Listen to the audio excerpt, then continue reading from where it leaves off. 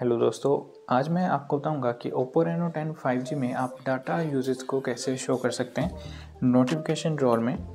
तो चलिए दोस्तों, बिना किसी देरी की वीडियो शुरू करते हैं। इसके लिए आपको सबसे पहले फ़ोन की सेटिंग्स में चले आना है। सेटिंग्स में जाने के बाद दोस्तों, आपको यहाँ पर ऑप्शन मिल जाएगी नोटिफिकेशंस एंड स्टेटस बार यहाँ पर आपको क्लिक कर देना है।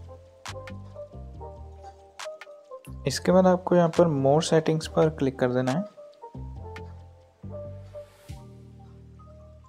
अब आपको यहाँ पर ऑप्शन दिखाई देगी display data uses in notification drawer तो आपको सिंपली इस वाली ऑप्शन को ऑन कर देना है। ये पहले यहाँ से ऐसे ऑफ़ हो गया, आपको इसे ऑन कर देना है। जैसे आप इसे ऑन करेंगे, आपको यहाँ पर ऊपर डाटा यूजेस शो होना शुरू हो जाएगा। आप देख सकते हैं मोबाइल डिवाइस मोबाइल डाटा के ऊपर आपको यहाँ पर शो हो जाएगा।